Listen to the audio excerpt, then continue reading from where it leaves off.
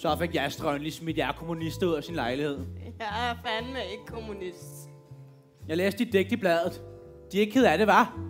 Går de rundt og opsøger skibskatastrofe, eller frembringer de dem selv? Det var Jastrav, der insisterede på at udgive det. Det er noget lort. Der er alt for meget tanke i. Hvad mener de med for meget tanke? Er vi nu blevet dis, du? Sludder! Men hvad mente du med det, du sagde? Mene og mene. Kom nu! Hvad mente du? Hvorfor skal kunstnere altid mene Jamen, noget? kunstnere skal da mene noget. Men hvad de mener er måske lige meget.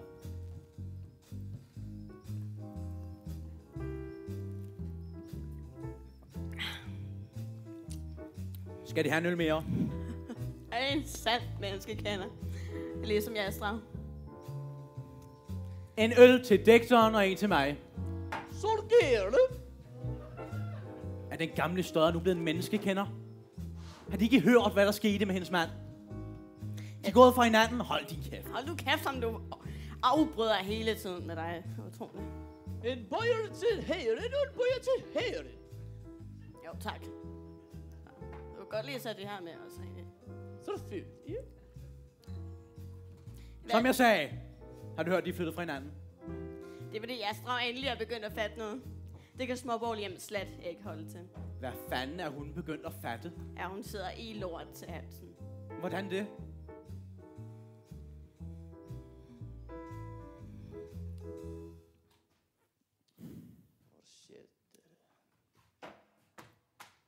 Gæster din gamle svinger. Hvad plejer dit hjerte? Jeg skal tømme jeres egetræsskabe for de sidste dråber. Hvorfor kommer du her ind og plakker mine gæster med sådan en høj pistolfyring? Kan man nu ikke engang benytte jeres etablissement? Jeg er kommet for at besøge skøen i flasken. Hvad er det for noget vås? Ja, det er poesi. Noget du aldrig vil forstå. Nu synes jeg, at din tone bliver en anelse for besk. Nu har du arbejdet her i snart en menneskealder, Lundbom. Og jeg er kommet her. Jamen, så længe jeg kan huske tilbage. Og jeg må indrømme, jeg bliver pisse fornærmet over den måde, du tilspørger mig mit grundlag for at komme her. Men Jestrev, jeg kan ikke tjene din behov, hvis du kommer her i din tilstand. Tjene mine behov. Du skal ikke bare tjene mine behov. Du skal opfylde dem. En øl med sidevogn, tak. Gerne. Nu er Jastrav fuld igen. Og hvad er der galt med det? Jamen, så er der jo ingen, der kan tage hende seriøst. Det er jo hele ideen. Når man er fuld, kan man være ligeglad. Man er fri. Det kan der være noget om. Men hun ødelægger jo sig selv. Det er en pris, hun er villig til at betale.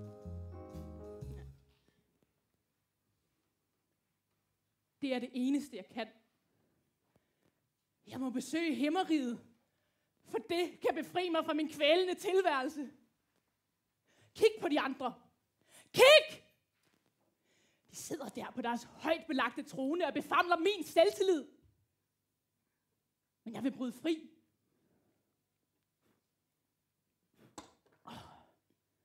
Alle de krige. Og alle de døde. Åh, alle de døde. Det må være det ypperste i dette sølle liv.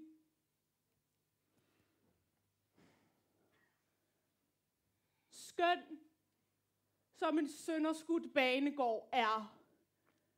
Hvor ungdom, hvor kraft, hvor vilde idéer.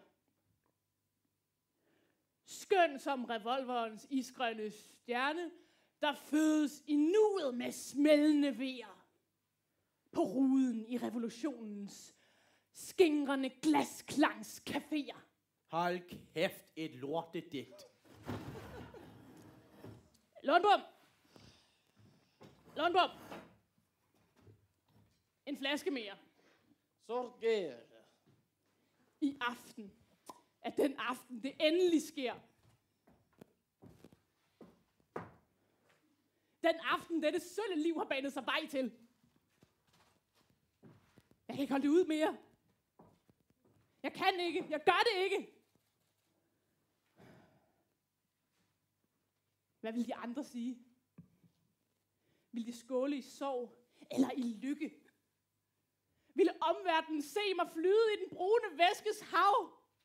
Nu vil jeg prøve at efterleve jeres krav. Amen for helvede. Den gamle støder kan ikke engang adskille sin egne digte for daglig tale. Det er dig om 20 år, Steffensen. Alt det brune, der forsager hjertet, kobles til mig som et skibsvrag på usædelig omgang med min mor. Nej. Nej. Hvad fanden er det nu for noget vås? Brug symbolik med omhu, Jastrov. Brug det med omhu. Lad mig omformulere. Alt det flydende, der omgiver min person, drukner mig i et brunt hav. Nej. Skibet. Skibet er frosset fast. Den eneste vej frem er at synke. Ja, det var straks bedre. Måske det bedste, jeg har formuleret. Jeg må skrive det ned. Hvor har jeg lagt min notesbog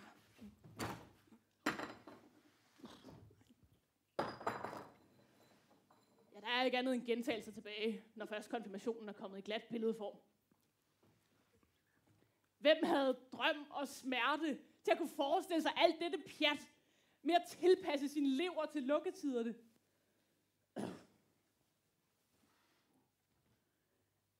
Natten spejler sit monotone mørke stenansigter, sejlende i udkørt moment.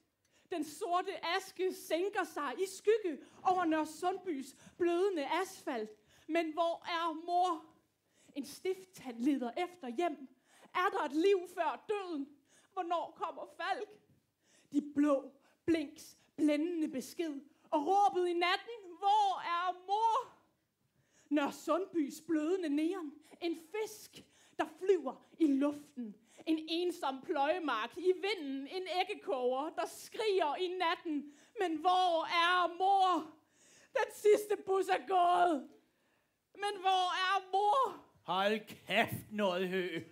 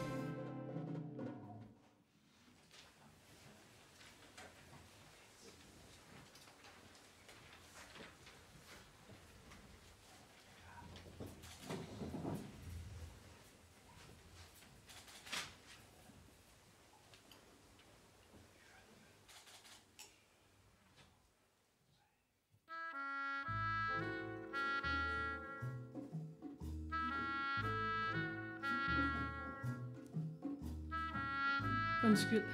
Jeg ved alligevel ikke noget. Nå ja. Ej, hvor er jeg dum.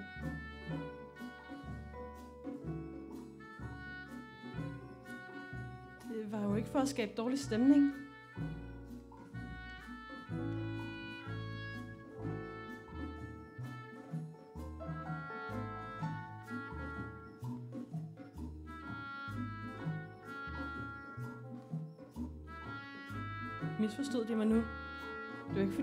Fordi dyrvin. Fuck. Var det mig, der tog den beslutning? Er hun sur på mig?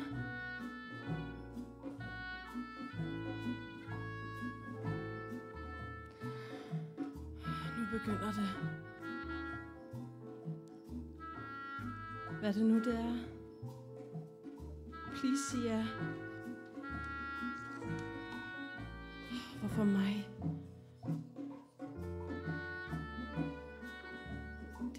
Også bare noget, jeg sagde. Det hjælper ikke en skid. Det kan man da ikke sige.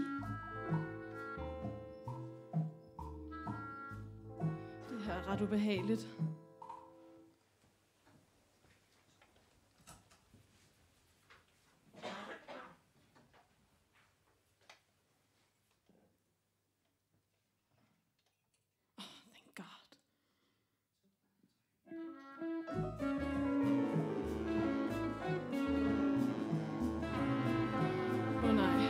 Ikke sur. Træk i land. Bare, bare træk i land. Bare træk i land. Der er jo ikke nogen, der ved noget om, hvad nogen har været igennem.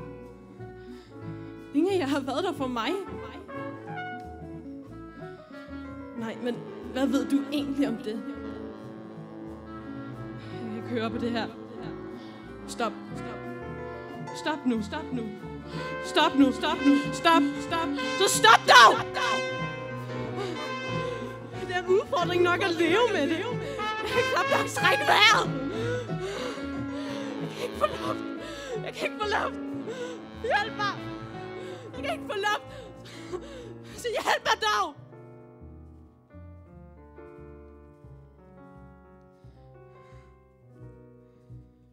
Det var så simpelt. Jeg har prøvet fem forskellige psykologer, og ingen af dem har gjort noget som helst godt for mig. Hvad blev der af mine gode venner? I var de eneste, jeg havde. Nu er jeg alene. Alene, alene, alene, alene, alene.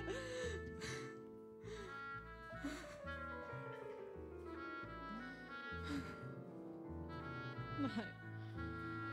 Jeg har bare ikke lyst til at være her. Ikke rør mig! Bare, bare lad mig være. Bare lad mig være.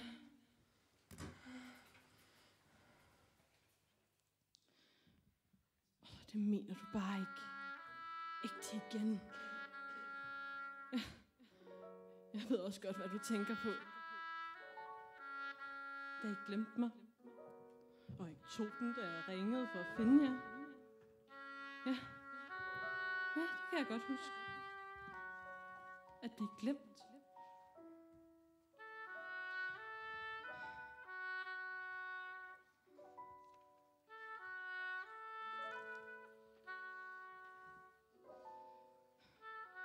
Og som om det overhovedet gør en forskel, om jeg er her.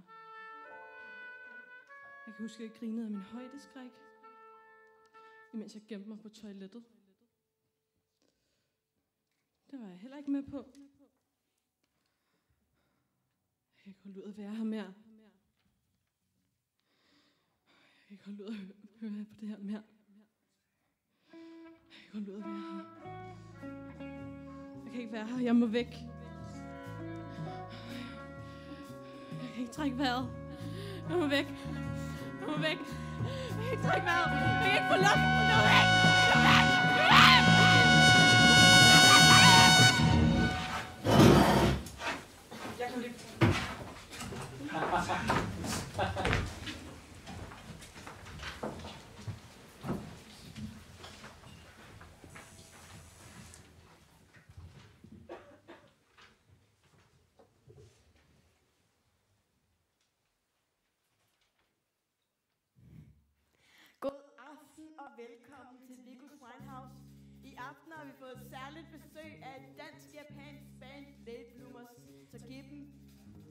vær rigtig sød ved dem i hvert fald.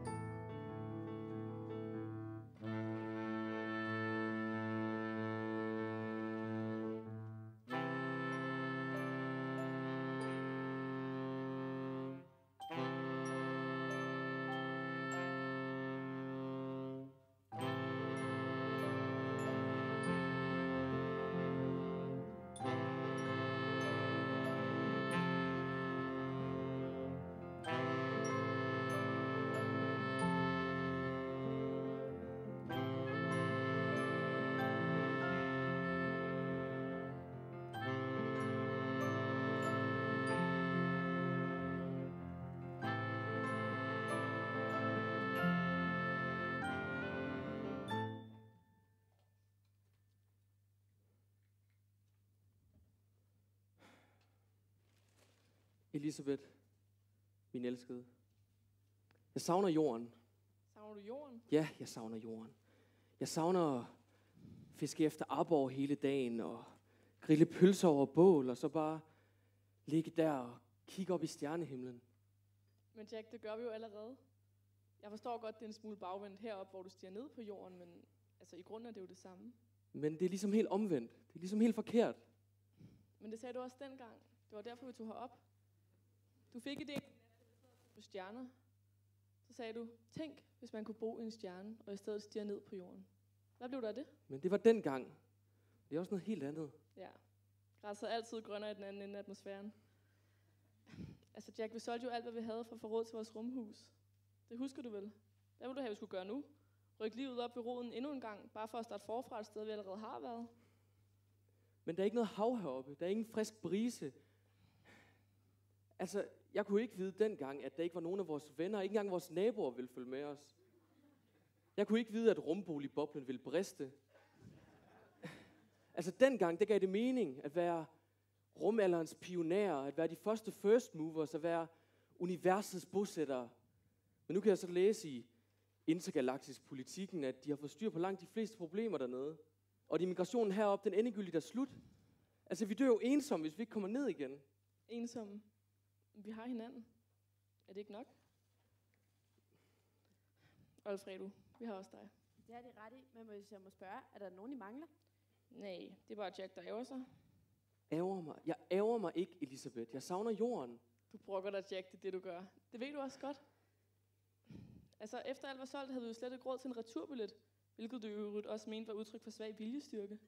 Det var dig, der snakkede om, at man ikke skal skifte mening, som vinden blæser. Enten emigrerer man, eller også forbliver man Elisabeth. Det sagde du. Fruen er ret her. Det var, hvad de sagde. Ej, for helvede, Alfredo. Nu begynder du ikke også. Om forladelse. Det er heller ikke min plads at modsige jer. Mere kaffe? Der er så ensomt heroppe. Heroppe i det her lydtomme rum. Der er så få stemmer. Min egen stemme, Elisabeths stemme, og så selvfølgelig Alfredo. Det er meget få stemmer. De snakker garanteret rigeligt nede på jorden. Kan ved, hvad de snakker om, og hvordan de snakker. Lille Jack, han kom altid hen til mig og sagde, hvordan skærer den? jo, det skar nu altid meget godt dernede på jorden. Og så kom han hen til mig med sin madpakke og fortalte om, hvor meget han elskede sin leverpostejsmad. Oh, og kødpølsemad og spejepølsemad med tandsmør og agurk og kamsteg med rødkål og en lille smule snaps og braserede kartofler og kogte kartofler og andre slags kartofler og min mors sovs. Hvad fabler du for, Jack? Altså, vi kan da ikke få alt den mad sendt herop, det ved du godt. Vi har Alfredos pulvermad, og den må du nu engang tage dig til takke med. Desuden, din mors sovs, nu vil jeg ved det, den var lidt salt. Min mors sovs. Ja, nok om den. Altså, vi har Alfredos pulver, og det er mere end tilfredsstillende. Det er aldrig for salt eller for sødt. Det er Men perfekt. det er jo fordi, det altid er det samme. Den samme pulvergrød hver eneste dag. Der er der flere forskellige variationer. Der er en til alle ugens dage.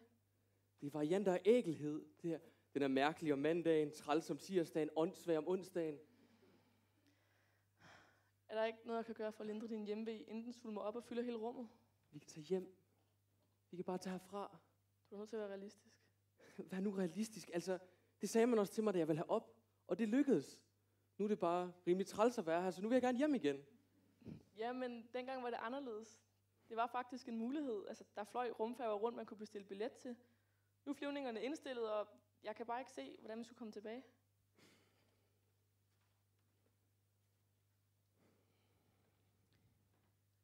Herren har simpelthen fået nok af civilisationen om jorden. Det var jo hans tåbelige idé at tage herop. Det blev sagt allerede inden vi tog afsted. Men der var alt, hvad man havde brug for. Tænk på den kulturrigdom, stjernerne har at byde på. Og nu er han her og vil rejse igen. Ja. Der blev sagt allerede inden vi tog afsted. Men nej, nej, herren behøvede ingen returbillet. Nej, lykken var at finde i himlen. Gud fader en tåbe. Men han har alligevel ret. Jeg kunne ikke forestille mig nogensinde at sætte min, mine ben på den makabre planet, vi kalder kloden igen. Nej. For min skyld, så må han hjertens gerne forsvinde. Det vil faktisk ikke gøre mig det mindste. Han efterlader sig champagne og pulvermad i fyrstlige mængder. Tænk at efterlade sig dette kongerige. Og til og med dets dronning. Åh, oh, Elisabeth. Sikke en dum mand, du har der. Måneskinsjusserne serveres hermed. Åh, oh, endelig. Det er lige, hvad Jack trænger til. En måneskinsjus. Jeg tror, det er det sidste, jeg trænger til. Ej, Jack, var nok så kedelig. Tag nu en. Alfredo, det skal der tænde for radioen. Se gerne, min frue. Nej, stop det der. Jeg vil ikke have det.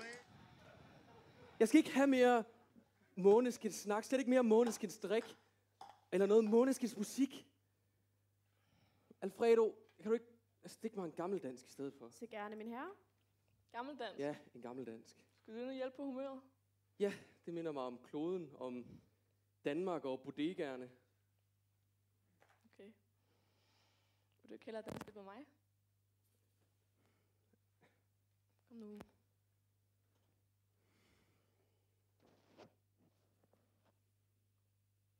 Vi kan danse den her til evig tid. Er det ikke nok? Det kunne vi faktisk. Det kan vi, og det gør vi. Jeg elsker dig.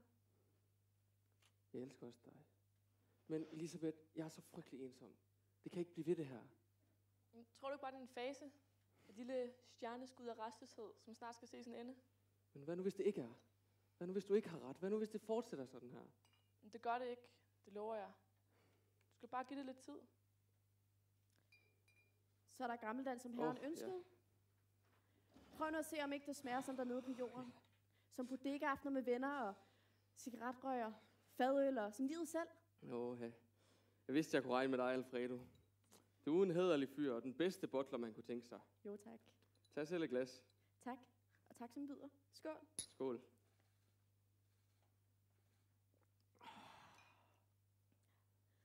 Har de hørt, at parret i naboejendommen rejste hjem i forrige måned? Manfred og Mathilde. Ja, her. De har siddet en aften over middagsmaden og besluttet, at nok skulle være nok. Eventuelt skulle stoppes. De havde indløst deres returbillet øjeblikkeligt. Men de havde altså en returbillet. Ja, det havde de. Men jeg tror nu heller ikke, manglen på returbillet kunne have holdt dem tilbage. De var forsvundet i en glædesrus. Lykkelig over udsigten til at vende hjem. Så jeg er altså ikke den eneste. Så aldeles ikke. Jeg har også hørt andre, der har overvejet tilsvarende. Immigration går ned mod jorden disse dage. Tror de virkelig det? Det tror jeg. Jeg tror ikke, de går uret i at vælge hjem. De står i den rigtige side af rummet. Hvad snakker I om derovre? Det ser jo helt venskabeligt ud. Det er det skam også, men det skal du ikke bekymre dig om. Det er bare sædvanlig snak om stjernernes bane og sladder om naboerne. Sladder. Du ved, jeg elsker sladder. Jamen, øh, hvis fruen ønsker det, kan de jo følge med mig ud i køkkenet, mens jeg laver en månedsjus mere til dem. Så skal de høre lidt fra rummandens egen mund. Jo.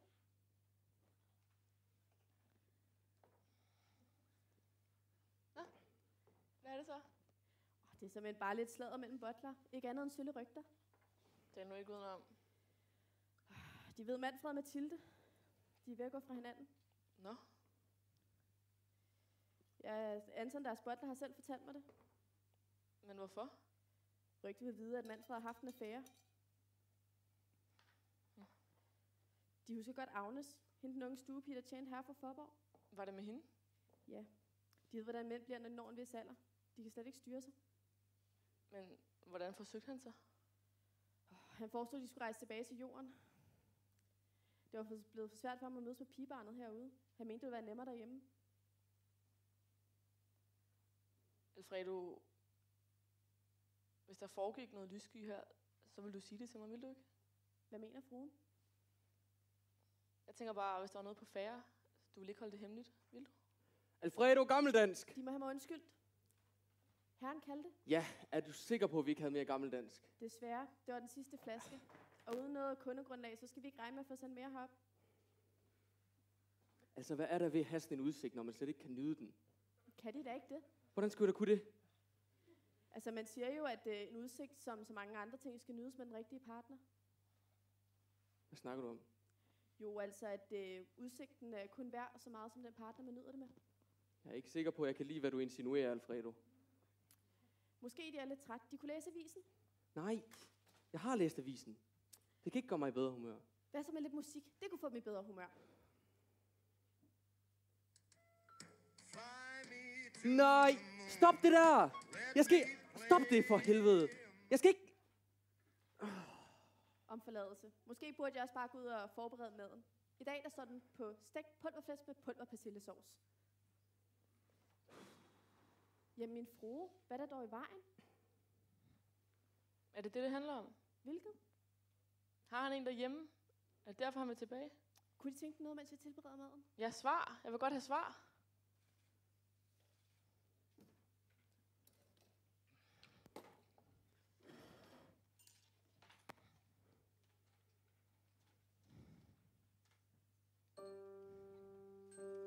Elisabeth, vi er nødt til hjem. Jeg kan ikke det her mere. Det kan du ikke. Er det, fordi du savner nogen? Jeg kunne fanden, om jeg savner nogen. Ja, du siger. Jeg savner folk for helvede. Jeg savner at kunne se dem, kunne snakke med dem. Jeg savner at kunne røre ved dem. Hvordan kan du sige det? Jeg savner for helvede at kunne føle mig som et menneske. Så du indrømmer det? Hvad? Det er jo gerne det røvhul!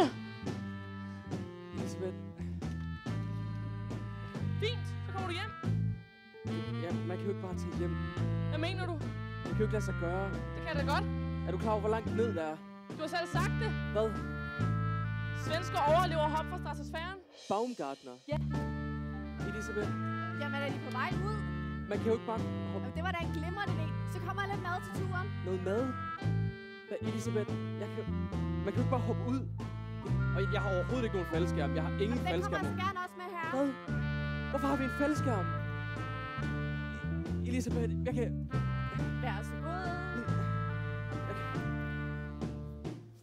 Fredo, jeg kunne, jeg nej, nej, kunne de kan ikke være sammen skiftet. Så vil jeg som ydmyg bottler ikke vide, hvad der var op og ned heroppe. Man kan, det kan vi jo ikke.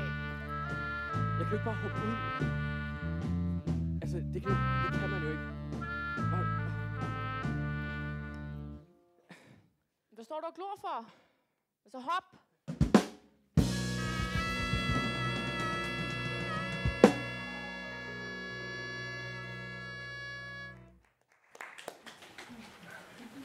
Ha.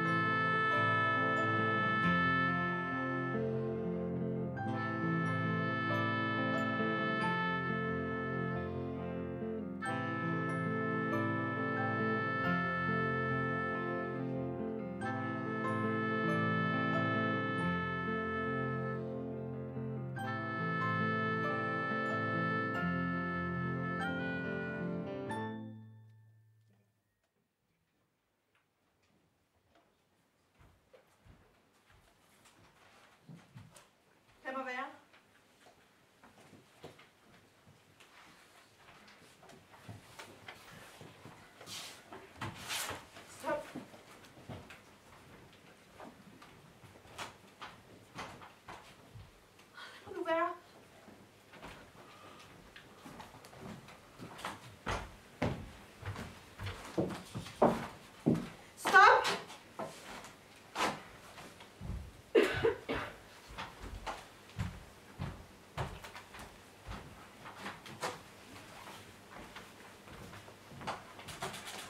Hallo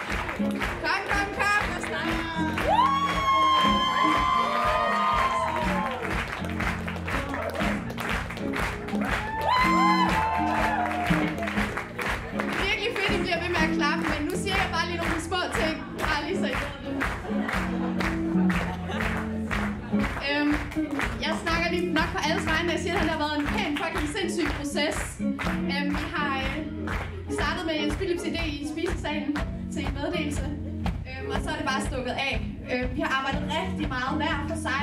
Der er blevet skrevet musik. Oliver og Mathilde. Sindssygt lækkert. Øhm, ja. Øhm, og så er der blevet skrevet tre forskellige scener, tre forskellige hold, og det hele er først blevet sat sammen i weekenden. Øhm, det er lidt sindssygt. Øh, og vi har ikke haft nogen instruktør, så det er også et fuldstændig kollektivt øh, fællesskabsprojekt, det her.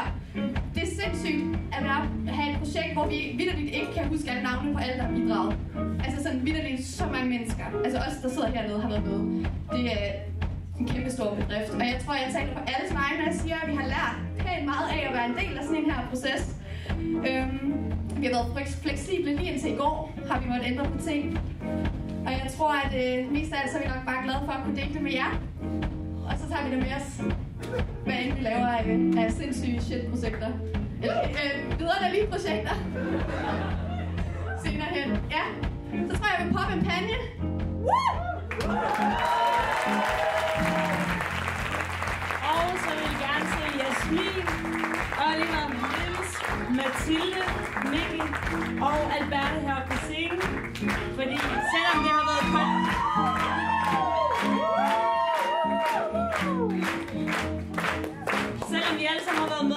Gjort øh, lige lidt ekstra for, at det kan fungere med at sætte op, instruere, skrive musik, ordne alt teknik, så de skal have en ekstra stor hånd.